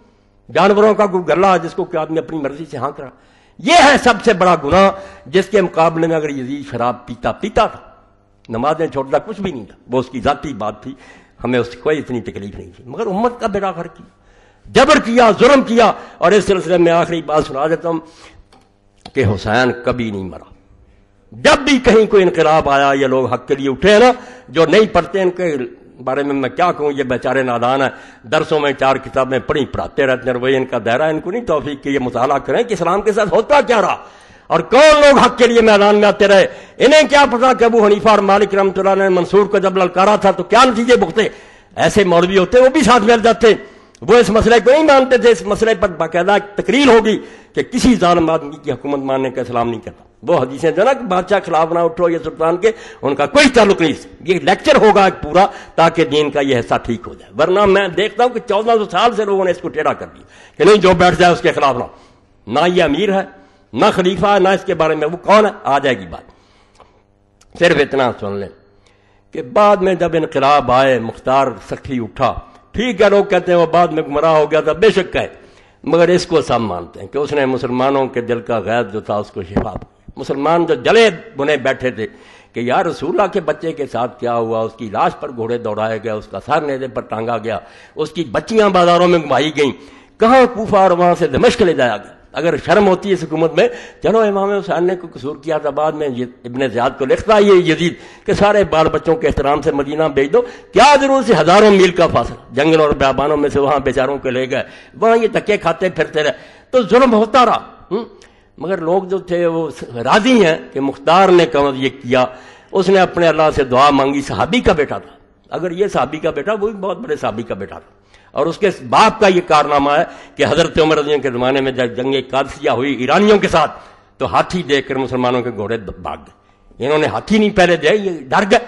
تو صرف اس وقت ابو بیت سٹھی تو تھا، اس کا باپ، اس نے اپنے بھائیوں کو کہا کہ اگر ہم بھی یہاں سے بھاگ گئے تو مسلمان مارے جائیں گے۔ ایرانی پیچھا کریں گے۔ وہ پھر ہاتھیوں کے آگے لیٹ گیا۔ یہ واقعہ جسر پڑے تو اس کا بیٹا تھا یہ مختار۔ اس نے یہ پھر اعلان کیا کہ اللہ مجھے اتنی عمر دے دے کہ زمین پر ان لوگوں میں سے جو امام حسین کے قتل میں شریک تھے، سپاہی تھے یا افسر تھے، ایک بھی شخص زمین پر چلتا نہ رہے، اس وقت مجھے مہلت دے دی اور دے دی رب نے۔ مرا اسی وقت ہے جب وہ سارے اس نے مکا دیے۔ ان سب کے سر کاٹے، ان کی لاشیں آگ میں جلائیں، ان کے ہاتھ پاؤں کاٹ کر دھوپ میں ان کے پھینکا، جس کو امام عبد الرحمان مبارک پوری لکھتے ہیں، ابن حجر لکھتے ہیں کہ یہ دنیا کا عذاب ہے جن کم بختوں کو ملا ورا عذاب الآخرت شک آ محدثین کی طرف۔ چودہ سو سال کے محدث اگر میرے ساتھ نہ ہو، تمہارے ساتھ کوئی شخص کھڑا ہو، مجھے پھانسی دے ظالموں تم حسین کی مخالفت کرتے ہو، جس نے دین کو بچایا کہ نہیں، ظالم حکومت کو، اسلامی حکومت نہ کو، چلتی رہے۔ ٹھیک ہے، ہم روک نہیں سکتے، مگر یہ فتوا ہو جانا چاہیے کہ غلط ہے۔ اور اسی کی برکت ہے۔ میں نے کہا ساری علم امت کے علماء جو ہیں، ایک بھی نہیں ضرورت کرے کہ یزید تو کجرا حضرت معاویہ کو کہہ دے کہ وہ خلیفہ راشد۔ اس کا کوئی حوالہ دے کہ اس نے فیصلہ نہیں۔ فیصلے ختم ہوگا کہ نہیں، یہ جائر ہیں۔ امام جائر اور ظالم ہے کرتے رہے۔ تو بعد میں وہ مختار جو تھا، اس کے خلاف پر مصب بن زبیر اٹھے۔ انہوں نے اس سے جنگ کوفہ کو گھیر لیا۔ رسد روک دی۔ باہر سے کھانا پانی آنا بند ہو گیا۔ ساتھی اس کے جو تھے مختار کے، وہ آہستہ آہستہ ساتھ چھوڑ گئے انہوں نے پناہ مانگ لی۔ حالات دیکھ کر کون ساتھ رہتا؟ اور میں کہتا ہوں، یہ بھی اگر کوئی شخص سوچے گا تو امام حسین کے برحق ہونے کی دلیل اس کے سامنے آ جائے گی کہ امام حسین کے ساتھیوں میں سے جو دیکھ رہے تھے، اور آخری رات جبکہ آپ نے چراغ بجا دیے تھے کہ چلے جاؤ، اپنی جانیں بچاؤ، تمہیں کوئی نہیں روکے گا۔ مجھے مرنے دو۔ ایک بھی نہیں گیا۔ امام حسین کے ساتھیوں میں اگر دیکھ لے کہ یہ جھوٹا ہے، خواہ بہت ضد کر رہا ہے بھی نہیں، اس کے کچھ ساتھ کیوں مرے؟ موت کی طرف لوگ رہے۔ اور بہتر ساتھ تھے، تاریخ اٹھا لو رات کے پردے میں سو کے قریب آدمی اور آیا۔ مرنے کے لیے آ گئے اور خود جو کمانڈر تھا ابن یزید ریاحی جو امام حسین رضی کو گھیر کر کربلا ملایا تھا، وہ صبح کے گھوڑے کو ایڑ لگا کر آپ کے پاس آ گیا اور کہا، امام مجھے معافی دے، میں ہی قصور وار ہوں، اگر میں سمجھتا کہ یہ ظالم جہاں تک چلے جائیں گے، میں کبھی آپ کو گھیر کرنا لگتا مجھے یہ توقع نہیں تھی کہ نواسا رسول کا یہ ذرا بھی احترام نہیں، اس نے معافی مانگ لی اور امام کی طرف سے شہید ہوا۔ ہزار سپاہی کی کمانڈ چھوڑی، موت کو قبول کی ادھر سے ایک بھی نہیں گیا، ادھر سے اتنے لوگ آئے۔ یہی حق کی بہت بڑی دلیل ہے۔ تو مختار کے ساتھی بھی چھوڑ گیا تھا، تنہا رہ گیا۔ اس نے پھر خوشبو لگائی غسل کر کے، کفن کی دو چادریں پہن لی میدان میں آ گیا۔ اس نے کہا مصب میں نے اپنے رب سے جائب کیا تھا کہ مجھے اس وقت موت دینا۔ جب حضرت حسین کے قتل میں جو لوگ شریک تھے ان میں سے زمین پر کوئی چلتا پھرتا نظر نہ آئے۔ وہ اللہ نے کام کر دیا۔ اب مجھے مرنے سے کوئی دریگ نہیں ہے۔ تو جی چاہتا میرے ساتھ کیا؟ مقابلہ کرتا وہ پھر مارا گیا۔ تو مختار کے بعد یہ مصب کی بھی شامت آ گئی۔ عبد الملک نے اس کے خلاف فوجیں بھیج تو جب یہ مصب چلا ہے میں حوالہ دینے لگا، حسین کا۔ یہ کہتے رہے میں کہتا ہوں یہ نادان ہے بین کو کیا کہوں؟ یہ بے شک شیخ الدیس نے وقت ہی نہیں ملا۔ نہ انہیں کوئی ہمدردی ہے کہ اسلامی حکومت کیا ہوتی ہے، وہ برباد کیسے ہوئی ہے؟ اس کو قائم کرنے کے لیے لوگوں نے کیسی کوششیں کی ہیں؟ صرف حضرت حسین نہیں، بعد میں بھی ہیں، لمبی۔ اس کے لیے کم از کم تاریخ دعوت عظیمت سید ابو الحسن علی رحمۃ اللہ علیہ کی پڑھے لوگ رہے جو حسین کے نقشے قدم پر چلتے رہے کہ یہ جھنڈا بلند ہونا چاہیے، کہ یہ غلط ہو رہا۔ تو مذہب جب چلنے لگا، اب اس کے نکاح میں دو اجمل ترین عورتیں عرب میں جو سب سے زیادہ حسین عورتیں ان میں سے ایک حضرت حسین رضی کی بچی اس کا نام سکینا تھا۔ یہ سکینہ جو پڑھتے نہیں، سکینہ کوئی نام نہیں تھا۔ سکینا تھا اس بچی کا نام۔ کیا کریں؟ ذاکر بھی سکینہ پڑھ لوگ سکینہ نہیں تھا نام سکینا اور دوسری طرف حضرت تلا رضی اللہ تعالیٰ کی بچی تھی عائشہ۔ تو جب یہ مصب نکلنے لگا تو حضرت سکینا نے راستہ روک لیا۔ اور کہا مصب تم کہاں جا رہے ہو؟ عبد الملک کی حکومت قائم ہو چکی ہے۔ اس کے پاس اتنی فوجیں ہیں۔ ہماری طاقت بہت کمزور ہو گئی ہے۔ تو جو جواب دیا مصب نے اس سے حسین کا پتہ چلتا رضی اللہ سکینا سے یہ کہا کہ تم جانتی ہو کہ مجھ سے میرے اندر تمہارے لیے جو محبت ہے دونوں کے لیے، کوئی مرد ایسی محبت اپنی بیویوں سے نہیں رکھتا۔ مگر تیرے باپ نے کسی شریف زادے کے لیے کوئی بہانہ نہیں چھوڑا۔ یہ مصب کا فکرہ تھا کہ کہنا، تیرا باپ جب گیا تھا حسین میدان میں، کون تھے اس کے ساتھ ماں تارا کا ابو کے لبن حرتن ازرا کیا کریں تیرے باپ کو جب دیکھتے ہیں تو تیرے باپ میں جو حلال چاہتا ہے نا اس کے لیے کوئی بہانہ نہیں چھوڑا کہ تم بہانہ نہیں بنا سکتے کہ طاقت نہیں حالات نہیں، یہ کہہ کر چلا گیا۔ تو جب میدان میں پھر ہوئی لشکر آئی تو یہاں تک نوبت پہنچی کہ اپنے بھتیجے اور بھانجے تھے، انہوں نے بھی عبد الملک سے معافی مانگی۔ چلے گئے ساتھ چھوڑ کر۔ مصب کے ساتھ بھی وہی ہوا جو امام حسین، بہت تھوڑے رہ گئے۔ تو اس وقت اپنے بھانجے کو بلایا۔ حمدہ تھا اس کا نام حضرت مغیرہ بن شعبہ رضی اللہ کا بیٹا تھا۔ حمزہ کو بلا کر اس وقت مصب نے کہا کہ حمزہ بتاؤ۔ جب ابن زیاد نے حضرت حسین سے کہا تھا کہ اپنے آپ کو میرے حوالے کر دے، پھر میں فیصلہ کروں گا کہ کیا کرنا چاہتا ہوں۔ تو حسین نے کیا کہا تھا؟ اس وقت یاد آیا حسین۔ اس نے کہا، ماما جی حسین نے کہا تھا کہ عزت کی موت جو ہے نا وہ ذلت کی زندگی سے بہتر ہے۔ دلیل بن کر غلاموں کی طرح جینے سے عزت کی موت مر جانا بہتر ہے۔ اور ساتھ ہی یہ شیر پڑا پھر مسلم میدان میں گھس گیا۔ اس نے کہا، ٹھیک ہے، ان رولا بتف منال ہاشمن تاسو فسن الکرام تاسیہ ہاشم کی اولاد میں سے اٹھارہ جوانوں نے جو فاطمہ کے بچے تھے، ایک دوسرے کی خیر خائی کر کے اور اپنی جانیں قربان کر کے ایک نمونہ دے دیا۔ وہ شریف لوگوں کے لیے ایک مثال قائم کر گیا کہ مر جانا منظور کرو۔ ذلت کی زندگی قبول نہ کرو۔ سر کاٹا گیا اس غریب کا بھی۔ مگر حسین کو یاد کر کے وہ گھس گیا کہ بے شک بھائی بتیجے چھوڑ گئے عزت کی موت بنوں گا۔ اور اس سلسلہ میں آپ دیکھتے ہیں جب ابن زیاد ملون کا دربار تھا۔ یہ کتنے بے ایمان پڑھتے ہیں کہ اس نے محمود عباسی نے کتاب لکھ دی۔ اس کے شاگرد فیض عالم جیسے ناصبی جی اٹھ کھڑے ہوئے۔ اب ان کو یہ بھی شرم نہیں آتی کہ جا کر پوچھیں اصری صاحب سے اور علامہ صاحب رحمۃ اللہ علیہ فوت ہو گئے کہ جب وہ قتل ہوا تھا اور یہ بات ہوئی تھی کہ اس کے لیے دعا کرو، کیا فرمایا تھا علامہ صاحب نے؟ انہوں نے کہا، وہ اہل حدیث تھا۔ حیا کرو، ہمارا یہ مطلب ہے کہ علی خلیفہ نہیں تھا اور یہ یزید ولی تھا، یہ ناصبی تھا۔ ہم اس کے لیے کوئی دعا نہیں کر سکتے۔ یہ اندھے ہوئے، سب نے وہ کتابیں چھپائی ہوئی۔ اور کوئی کتاب نہیں، ان کے پاس آپ دیکھ رہے جب نکالیں گے، فیض عالم کے رسالے۔ اور حیا کرو، حدیث کی کتابیں ختم ہو گئی نہیں سوچتے۔ تو یہی بات وہ سب نے اس وقت کہی کہ ہاشمیوں نے اس وقت ایک مثال قائم کر دیا اور یہ اٹھارہ کون تھے؟ نواب صدیق حسن رحمۃ اللہ علیہ علیہ دیکھو، وہ کہتے ہیں کہ حسن بصری فرماتے ہیں اس وقت زمین میں انہوں اٹھارہ جیسا کوئی بھی نہیں تھا۔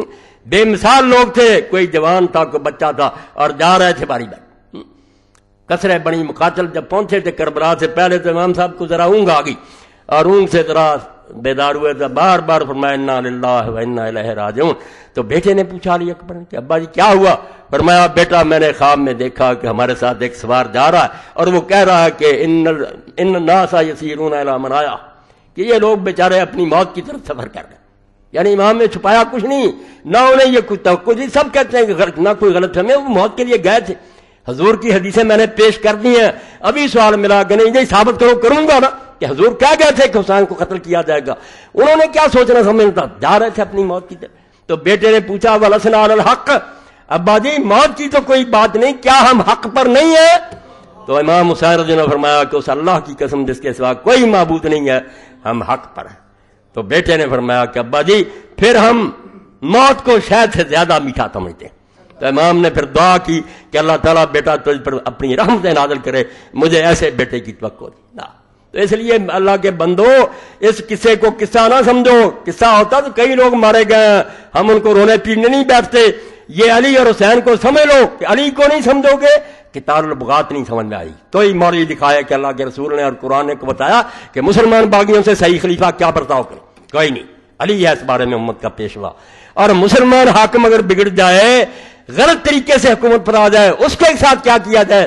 یہ حسین سے ملے گا اور اس کی ضرورت آپ کے سامنے میں عرض کر دیتا ہوں، پہلے بھی آپ نے سنا، پھر سن لیں۔ نمازوں روزوں سے بڑھ کر، کروڑ درجہ بڑھ کر۔ کیا یوب کا زمانہ تھا، اللہ اسے بھی معاف کرے۔ اس نے یہاں پنجاب یونیورسٹی میں کروکیم کرایا۔ ایک سو چھبیس عالم بلائے، مسلمان بھی اور غیر مسلم بھی۔ مذاکرہ ہوا۔ دین کے بارے میں بہت لوگوں نے مقالے پڑھے۔ اس مقالے پر پھر بحثیں ہوتی تھیں۔ تو مسجدوں میں جو بند ہے گمبدوں میں نہیں کیا پتا چلے کہ مولوی صاحب کیا اور ان کا کیا، یہ گد اور شاہین کا فرق ہے، یہ سمجھ نہیں سکتے۔ ان کے پاس یہی ہے کہ امین اور ہاتھ نہیں، اسلامی حکومت کو سمجھو، پھر مسئلہ سمجھ میں آئے گا۔ تو اس ایک مستشر کا عورت نے، بڑی فاضلہ تھی عیسائی عورت، اس نے مقالہ پڑھا اسلام کے نظام سیاست پر۔ بہت تعریف کی کہ اسلام میں خلیفہ کے لیے یہ ہے، عدل انصاف یہ ہے، پڑھی لکھی۔ مگر آخر میں اس نے ایک بات کی جھوٹ نہیں کی ٹھیک تھا، چودہ سال میں ہم نے بڑا غرق کر دیا۔ کیا کہ اس میں ایک نقص رہ گیا کہ حاک میں وقت اگر ٹھیک چلتا رہے تو اس کا احسان ہے۔ اگر وہ غلط چل پڑے نا، لوگوں کی بیٹیاں اٹھا لے، ان کے مال چھین لے، ان کو ناک قتل کرے، صرف کلمہ کا انکار نہ کرے۔ یہ نہ اعلان کر دے کہ میں کافر ہو گیا ہوں۔ تو اسلام میں اس کے راستے میں کوئی رکاوٹ نہیں۔ دین نے یہی کہا کہ اس کو مانو۔ جو اس کے مقابلے میں آئے گا وہ باغی ہوگا، دوستی ہوگا، کفر کی موت پڑے گی حدیثیں پڑھی اماموں کے حوالے پڑھے سب کے سر جھک گئے۔ سعودیہ سے بھی آئے تھے، شام تھے اب علماء کے پاس کچھ بھی نہ رہا۔ اس نے کہا، نظام تو اچھا ہے، مگر یہ حکمران کی مہربانی ٹھیک چلتا رہا بگڑ جائے تو اللہ انترا کفرم واہن جب تک وہ کھلم کھلا نہیں کہتا کہ میں مسلمان ہی رہا تم اس کے خلاف کچھ نہیں کر سکتا۔ بے شک وہ دن دیہڑے آپ کی بیٹیاں اٹھا لیں۔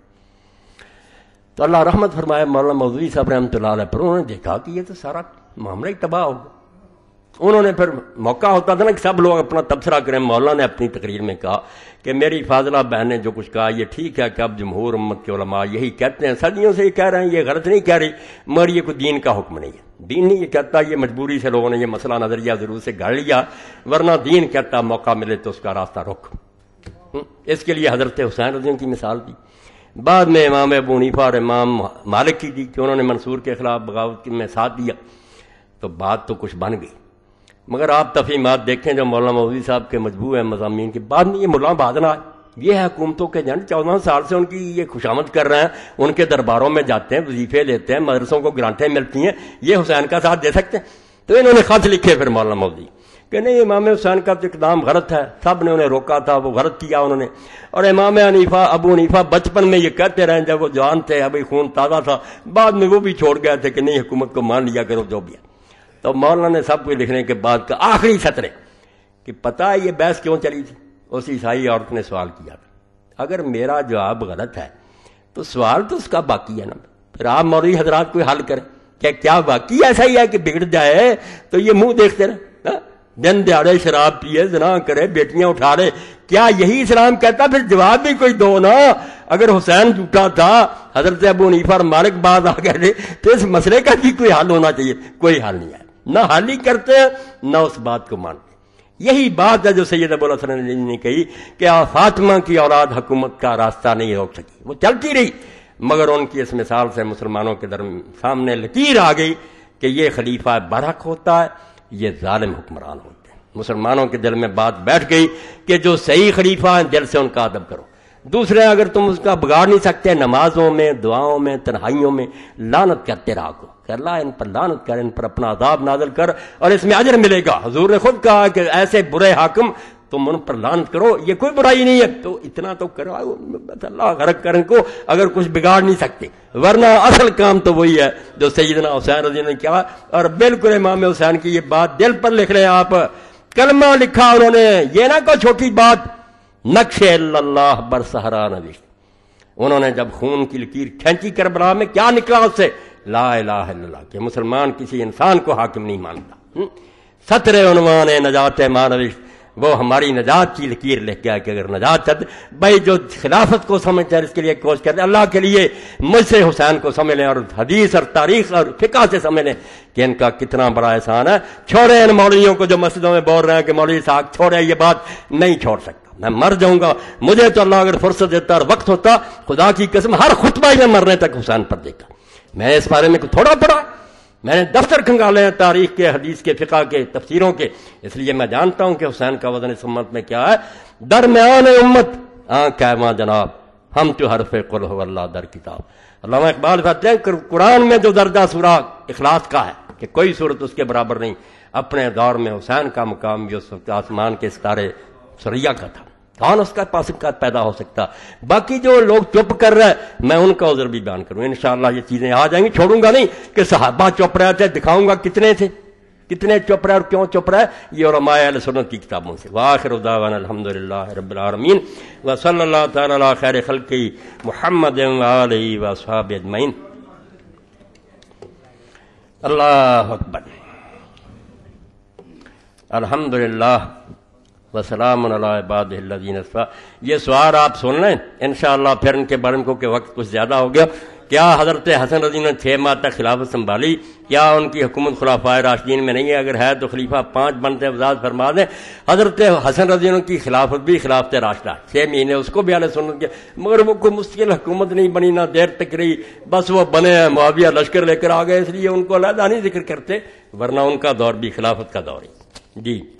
مولانا یہ بتائیے یزید، کیسے مرا؟ اپنی موت ہی مرا۔ شیخ حمید اللہ صاحب دل کی تکلیف کی وجہ سے اسپتال میں داخل ہیں، ان کی صحت کی دعا کی درخواست ہے۔ اللہ ہمارے ساتھی کو شفا دے۔ بعد میں کریں گے دعا۔ ہوتا ہوا آن لائن کی تمام سیریز ماسٹر مووی کی تیار کردہ۔ آپ کسی بھی اتوار کی سی ڈی لینا چاہتے ہیں، اس جمعہ کے بعد تاریخ لکھوائیں۔ اور آئندہ جمعہ مطلوبہ سی ڈی حاصل کریں۔ تیرہ دو پانچ، بیس دو پانچ کی سیریز اور گزشتہ سیریز تمام موجود ہیں۔ بار سٹال سے رابطہ کریں۔ لے لیں۔ گزشتہ جماعت المبارک سعین علی و حسین کتاب ختم ہو گئی تھی۔ بار سٹال پہ موجود ہے جس کے مصنف مایا ناد مرک قادیات مبارک پوری ہیں، جس پر اہل بیت اتحار اور معاویہ زید کے بارے مستند روایات کی روشنی مرتب کی گئی ہے اور کتاب خلاف تو معاویہ زید کی افطرا پردازیوں کا پوسٹ مارٹم کیا گیا، تلخیص سید نفیس الحسینی تمام ساتھی ضرور لے کر جائیں۔ پچھلے جمعہ بھی لائے تھے، ختم ہو گئی جی یہ سارے میں رکھ لیتا ہوں، بھائی پھر پڑھوں۔ اللہ صلی علی محمد علی محمد۔ یہ سن لیں، یہ کیا؟ میرا۔ یہ ایران سن لیں کل کے بارے میں۔ انشاءاللہ رائڈ ہسپتال میں قرآن فہمی کی ماہانہ محفل پندرہواں پروگرام، مورخہ چھبیس فروری دو ہزار پانچ۔ بروز ہفتہ، دوپہر سوا ایک بجے موضوع ملت ابراہیمی۔ سورہ نساء ایک سو پچیس، Muhammad Ishaq C P room operation theatre. انشاءاللہ کل سوا ایک بجے رائڈ ہسپتال میں یہ درس قرآن ہوگا۔ وہاں بھی پہنچنے کی کوشش کریں۔ اللہ صلی اللہ سیدنا و نبینا محمد وسلم۔ پرسوں تحریک اسلامی کے اجتماع بروز اتوار مرخہ ستائیس دو وقت نو بجے شروع ہوگا۔ احباب شرکت فرمائیں، رسالہ فتح غام و ایسا کتاب مولف کی اللہ صاحب سے حاصل کریں۔ اللہ مغفر للمومنین والمومنات والمسلمین والمسلمات الاحیاء من والاموات ان اللہ یامر بالعدل والاحسان وایتاء ذی القربى وینہا عن الفحشاء والمنکر والبغی. یعظکم لعلکم تذکرون.